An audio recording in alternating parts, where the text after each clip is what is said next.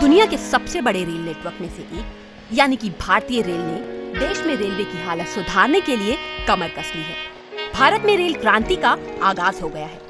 सुनने में अजीब लगता है कि जिस ट्रेन में आप सफ़र कर रहे हैं, उसमें कोई इंजन नहीं। लेकिन ये शत प्रतिशत सच है। इसका नमूना मुरादाबाद सहारनपुर ट्रैक पर दिखाई दिया।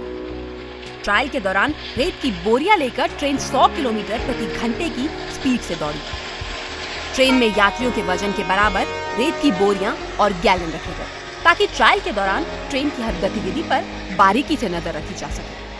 भारतीय रेलवे ने देश में सबसे पहली बिना इंजन वाली ट्रेन, यानी कि ट्रेन 18 का सपना साकार कर दिखाया है। रेलवे की ये पहल आज रंग ला रही है और ट्रेन 18 का ट्रायल यूपी के मुरादाबाद सहारनपुर ट्रैक पर हुआ है। खास बात यह है कि इस ट्रेन के ज़्यादातर पार्ट्स भारत में ही बनाए गए हैं।